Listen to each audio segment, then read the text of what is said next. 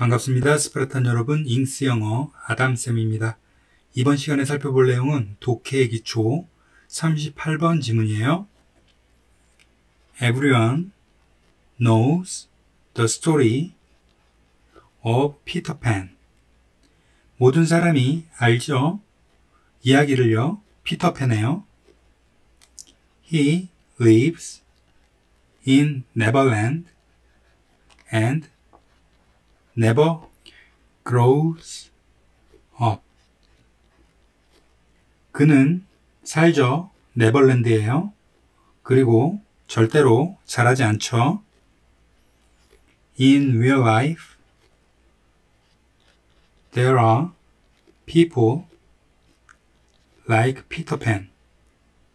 현실 세계에서 존재하죠. 사람들이요. 피터팬과 같은 사람들이요. They never want to grow up. 그들은 절대로 원하지 않아요. 자라기를요. Instead, they want to stay in their own Neverland for the rest of their lives. 대신에 그들은 원하죠. 머물기를요.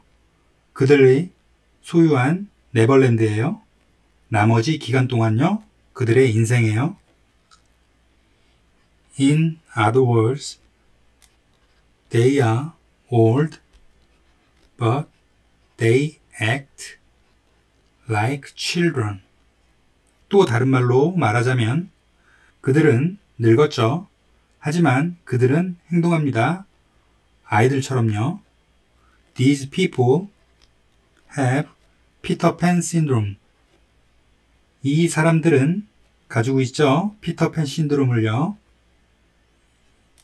They are old enough to do things by themselves. 그들은 충분히 나이가 많죠. 무언가를 행위하기 위해서요. 그들 스스로요. But they want others to do everything for them. 하지만 그들은 원합니다. 다른 사람들이 해주기를요, 모든 걸요, 그들을 위해서요. The number of people with Peter Pan syndrome is increasing. 숫자죠. 그 사람들의 숫자예요. 피터팬 신드롬을 가지고 있는 사람들의 숫자예요. 점점 증가하고 있습니다. Doctors say that they know why. 의사들은 말하죠. 사실을요. 그들이 왜 그런지 알고 있다고요.